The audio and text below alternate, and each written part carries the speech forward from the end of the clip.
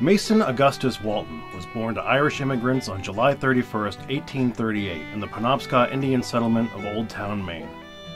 Amongst his five siblings, Mason was a quiet adventurer. As a schoolboy, he explored miles of forest along the Penobscot River, mesmerized by hibernating animals and migrating birds.